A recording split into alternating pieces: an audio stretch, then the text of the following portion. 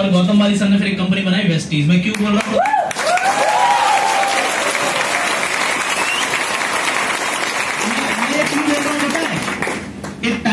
Marketing industry ऐसी हो गई थी, सच बता दो बहुत बेकार, जिसमें हमने भी बहुत लंबे समय तक काम करा, पर हम कर कुछ नहीं पाए। बहुत सारे लोगों ने खुद की अपनी जेब भी भरी, पर सर वो दूसरे लोग ही भर नहीं पाए। पर एक कंपनी ऐसी बनी वेस्टीज शायद इसीलिए मुझे लगता है टॉप हंड्रेड के अंदर इसीलिए आ गई। सिर्फ़ इकलौती इंडियन कंपनी ने लोगों के लिए काम करना शुरू किया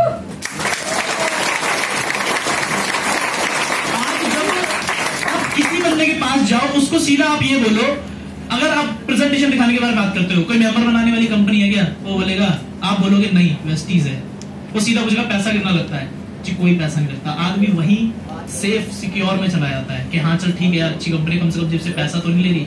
दूसरा जब आप प्रोडक्ट बताना शुरू करते हैं वो और पॉजिटिव हो जाते हैं। यार इसमें तो घर का ही सामान इस्तेमाल करना है। इसीलिए कंपनी आगे बढ़ रही है। और सबसे अच्छी बात बताऊँ एक कंपनी अपनी जेब में पैसा भरने के बारे में लोगों को पैसा देने के बारे में सोच रही है इसीलिए बड़ी हो गई। एग्ज़ाम्पल देता हूँ आपको। आजकल के टाइम पर कॉलिंग में पहले के टाइम पर सबसे बड़ी कंपनी कौन सी थी? कॉलिंग में? एयरटेल ना ना फ़ोन में नहीं। कॉल में। एयरटेल थी? एयरटेल थी सर सबसे बड़ी कंपनी? आज के टाइम पर कौन है? जियो। जियो का नाम सबको याद है। अब एक बात बताओ एयरटेल कंपनी इतने टाइम से लंबे टाइम पर चल रही थी। जियो की नंबर वन पर आ गई उसके पीछे कारण बताओ। एयरटेल कंपनी 300 जीबी मतलब सॉरी 300 रुपए का एक जीबी दे रही थी एक महीने का।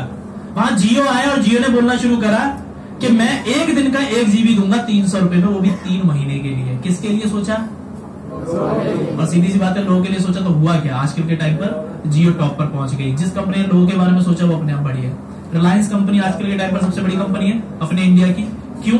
जिस टाइम पर कॉल उठाने का चार रुपए और करने का आठ रुपए लगता था ना, एक रिलायंस आया और उसने बोला कि मैं कॉल को इतना सस्ता कर दूँगा रिक्शे वाले आदमी की जेब में भी आपको फ़ोन मिलेगा। पचास पैसे करने का और पचास पैसे उठाने की उसने कॉल कर दी।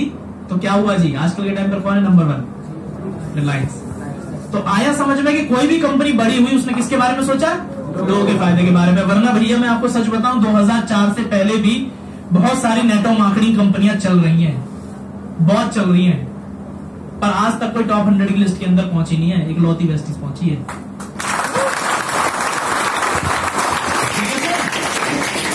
अब ये नेटो मार्केटिंग इंडस्ट्री है क्या? वही वाली बात जो लोगों का फ़ायदा कर रही है। कैसे फ़ायदा कर रही है? वही नए लोगों के लिए कि आप जब कोई भी सामान ले रहे हो अपने घर के लिए तो आप कस्टमर हो। आप लेते हो दुकान वाले से। ठीक है? दुकान वाला जो लेता है, वो किससे लेता है? होलसेलर से। होलसेलर वाला लेता है डिस्ट्रीब्यूटर से डिस्ट्रीब्यूटर वाला लेता है सी डिपार्टमेंट से, और ये लेता है मैन्युफैक्चरिंग कंपनी से। यहाँ से यहाँ तक पहुँचने का जो प्रोसेस होता है, उसके बीच की चेन ये है।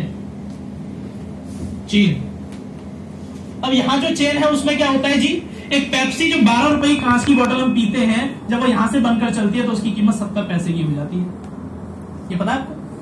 अब मैं आपको सच बताऊँ, यही फ़ोन ना बाहर छत्तीस हज़ार रुपए का मिल जाएगा किसी दूसरी कंट्री में। और यही फ़ोन यहाँ चौरासी का मिल रहा है। अब सवाल यह है कि मैंने ये वहाँ से क्यों नहीं ले लिया? खराब होगा तो वारंटी पीरियड भी तो वहाँ का है, वहाँ थोड़ी ना जाऊँगा। तो इसलिए मैंने यहाँ से लिया। खैर, सवाल क्या है? यही फ़ोन इतना महँगा क्यों बिक रहा है? आप देखो जगह जगह होर्डिंग बैनर्स लगे हुए हैं। इसके note nine note nine note nine है ना? जगह जगह देखो टीवी के अंदर ऐड आ रही है। करोड़ों रुपए खर्च होता है इस पर। लगाया नहीं जाता, बहाया जाता है इनके ऊपर पैसा। और इतना अंधा बहाया जाता है, पूछो मत। तो ये सब पता वसूला किससे जाता है? आपसे और मुझसे। ये बारह रुपए की जो पेप्सी है ना, ये जो वसूली जा रही है, ये इन लोगों की जेब भरने के लिए वसूला जा रहा है आपसे। आप लोगों की जेब। है ना? कटरीना अगर बोलेगी, मेरे गोरेपन का राज लक्स। वाह जैसे तुम ही नहाई थी लक्स से, बचपन से। है ना? अनुष्का की दरवाज़ा तोड़ करके आपके कॉलगेट में नमक है? आई तुम्हारे घर पे कभी? ठीक है। कुछ आ जाती, कुछ लड़के तो ज़बरदस्ती दांत में दर्द कर लेते। आए तो सही। पर सीधी सी बात है, देखो, बिना हाथ पैर की चीज़ें आपको दिखाकर बताया जा रहा है और हम सारे के सारे उसकी ब्रांडिंग बनाकर उसको इस्तेमाल किए जा रहे हैं। ये रही वो चीज़। अब नेटवर्क मार्केट में क्या होता है? इसमें एक मैन्युफैक्चरिंग कंपनी होती है, सीधा कस्टमर को प्रोडक्ट दे देती है। जिसकी वजह से जो सत्तर परसेंट पैसा पहले इन लोगों की जेब में गया, वो सारा का सारा पैसा कस्टमर की जेब में आना शुरू होने लग जाता है। इसीलिए आज मैं वेस्टीज के अंदर जो पैसा कमा रहा हूँ, मेरा पिछले महीने का चेक एक लाख अस्सी हज़ार रुपए था, इस महीने करीब सवा दो लाख रुपए महीने की इनकम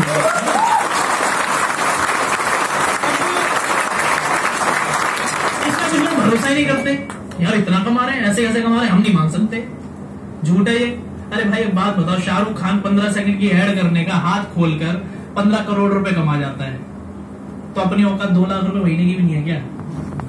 बताओ। शाहरुख खान हाथ खोलने का पंद्रह सेकंड का ले जाता है, पंद्रह करोड़ रुपए। तो तुम्हें वहाँ तो भरोसा हो जाता है, वो कमा रहे भाई, यहाँ क्यों नहीं हो रहा भरोसा? तुम अकाउंट देखो सारे के सारे लोगों के। ठीक है? बात पता है क्या है? आज तक हमने ज़्यादा पैसा कमाते हुए किसी को देखा ही नहीं तो हमें पता ही नहीं कि पैसा ज़्यादा कमाया कैसे जाए। है ना?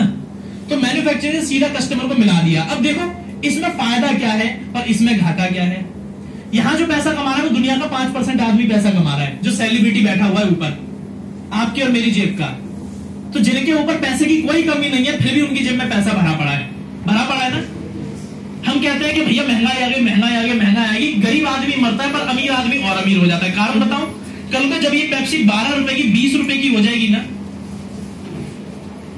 तो आठ रुपए आपकी जेब से ज़्यादा निकलेंगे। तो महँगाई की मार पड़ी आप पर। पर ये लोग अमीर क्यों होंगे? क्योंकि आठ रुपए ज़्यादा इनकी जेब में गया है। आगे ना समझ? ये क्यों अमीर हो जाते हैं महँगाई बढ़ने पर? इसीलिए अमीर होते हैं ये। यहाँ क्या फ़ायदा है? सर, अगर मैं कोई प्रोडक्ट आपको बता रहा हूँ ना, अगर मैं आपको बता रहा हूँ तो यहाँ पता है कोई सलमान खान, शाहरुख खान, ऐश्वर्या राय है नहीं, यहाँ बताने वाला आदमी मैं हूँ। तो आप मुझसे दस सवाल पूछोगे। और आप उस प्रोडक्ट को इस्तेमाल करोगे। इस्तेमाल करने के बाद अगर आपको अच्छा लगा, तभी जाकर आप उसको दोबारा लेना शुरू करोगे, वरना आप लोगे नहीं। यहाँ बात है विश्वास वाली। वहाँ विश्वास वाली बात नहीं है। वहाँ अंधा बस बताया जा रहा है आपको। पर यहाँ जब आप किसी को बताने के लिए जा रहे हो तो पहले सामने वाले इंसान के अंदर आपको विश्वास जगाना पड़ेगा प्रोडक्ट को लेकर। तो यहाँ जो कंपनी प्रोडक्ट की वैल्यू बनाएगी ना, और जो क्वालिटी बनाएगी, आपको शक करने की ज़रूरत नहीं है, वो बहुत अच्छी ही बनाएगी। क्योंकि उसका सारा का सारा काम किस पर है? प्रोडक्ट की क्वालिटी के ऊपर। क्योंकि देखो, मैं जो मानता हूँ, आज की दुनिया ऐसी है, तुम आदमी को एक बार बनाओगे, दो बार बनाओगे, वो तीसरी बार बनने के लिए तैयार नहीं है। आज हर इंफॉर्मेशन गूगल के ऊपर अवेलेबल है, तुम सारी की सारी चीज़ें देख सकते हो। तो इसकी सबसे अच्छी बात तो ये है।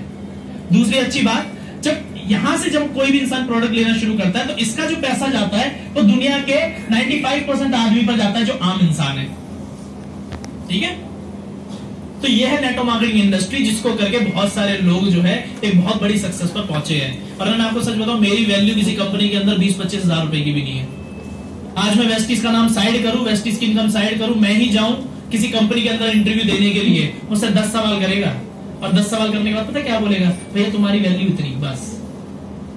और एक कंपनी यहाँ तुम्हारी वैल्यू जब दो लाख रुपए महीने की लगाए तो भरोसा नहीं होता। एक आदमी जो अंगूठा छापे वेस्टिस के अंदर, जिसने कोई पढ़ाई लिखाई नहीं करी, आज तक कुछ भी नहीं करा आज वो किसी कंपनी के अंदर नौकरी लेने के लिए जाए ना तो उसको पता क्या बोलेंगे? चाय का कप उठा लेना है ना? आ, वो फ़ाइल वाइल इधर उधर पहुँचा देना नीचे माल आएगा तो कंधे पर उठाकर ऊपर झाड़ू वाड़ू लगा देना सुबह सुबह। अच्छा कितना मिलेगा? सात हज़ार रुपए बस। और ऐसे ही बंदा वेस्टीज के अंदर पाँच लाख रुपए महीना कमा रहा है। जब वो कहीं जाता है ना तो फूल मालाओं से भूखे भूखे देकर उसका स्वागत किया जाता है। बताओ। तो एक वेस्टीज ने एक आम बंदे की वैल्यू इतनी बढ़ा दी